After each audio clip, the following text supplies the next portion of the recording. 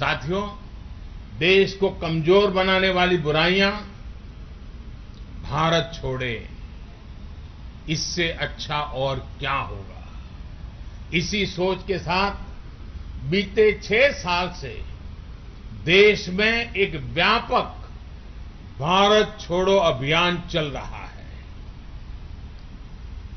गरीबी भारत छोड़ो।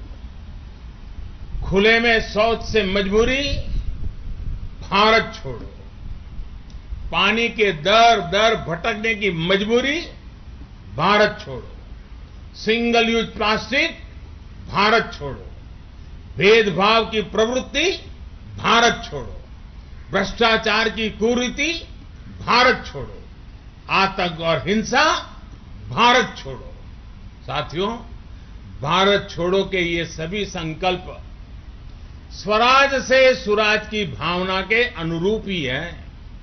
इसी कड़ी में आज हम सभी को गंदगी, भारत छोड़ो का भी संकल्प दोहराना है। आइए, आज से 15 अगस्त तक, यानी स्वतंत्रता दिवस तक, देश में एक सप्ताह लंबा अभियान चलाएँ।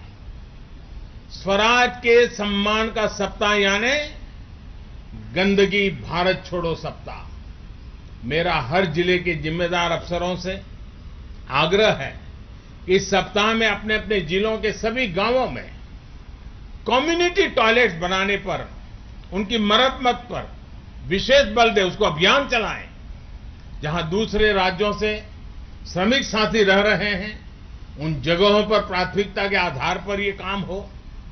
इसी तरह गंदगी से कंपोस्ट बनाने का काम हो, गोबर धन हो वाटर रिसाइकलिंग हो सिंगल यूज़ प्लास्टिक से मुक्ति हो, इसके लिए हमें मिलकर के आगे बढ़ना है। साथियों, जैसे गंगा जी की निर्मलता को लेकर हमें उत्साहजनक परिणाम मिल रहे हैं, वैसे ही देश की दूसरी नदियों को भी हमें गंदगी से मुक्त करना है। यहाँ पास में ही यमुना जी हैं। यमुना जी को अभी गंदे नालों से मुक्त करने का अभियान, उसको हमें तेज करना होगा। इसके लिए यमुना जी के आसपास बसे हर गाँव, हर शहर में रहने वाले साथियों को, उनका साथ, उनका सहयोग, ये बहुत ज़रूरी है।